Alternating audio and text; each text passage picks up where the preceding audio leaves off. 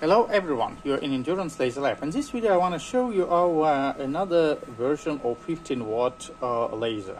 We will call this DIY version. So what is cool about this? So it has minimum uh, improvements that uh, you need to do if you already have a laser. It doesn't matter if it's 5.61 or 10 watt laser. So uh, there is a 3D printed uh, model that you can print it out yourself. We'll share this model on Thingiverse and then you can combine two lasers together with polarizing beam splitter. So the basic idea remains the same. So one a laser has one uh, direction uh, of uh, actually a vector of polarization and the other one is flat. One is horizontal, another one is vertical. And it allows to combine two beams together and get one single beam.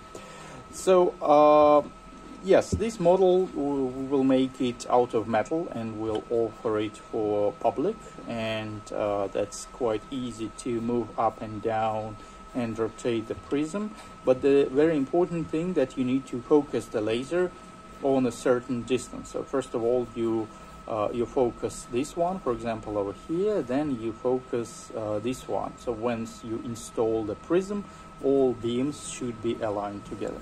Another good thing that you can also use your existing uh, laser, probably if you already have some non-branded or even if it's branded uh, Chinese laser, you can do the same thing by having just one uh, Chinese laser here and you can get another one from endurance lasers and then you can combine and get well depending on what power you have here. So this is uh, like said that it's uh, 5.5 watt. A real power measurement showed with the lens it's about 3 watt with uh, G2 lens it's closer to 4 but uh, still if you take uh, endurance laser with which is uh, 7 watt in CV power and this one for example is like 4 so you'll have at least 11 watt uh, power, optical power which is uh, which is really really good.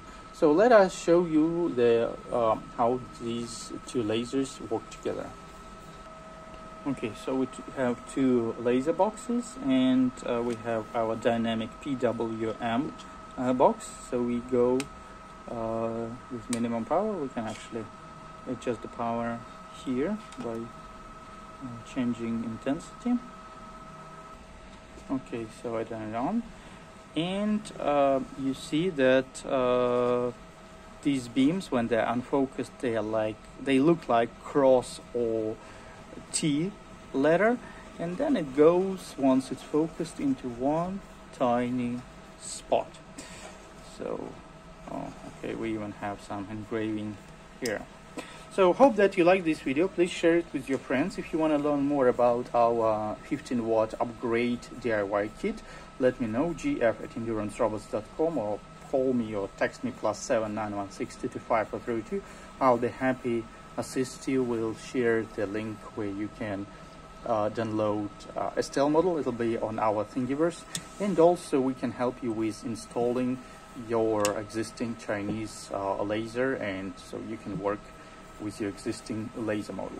So uh, visit our website endurancelasers.com and our online store endurance-lasers.com. Have a wonderful experience with endurance lasers. Bye bye.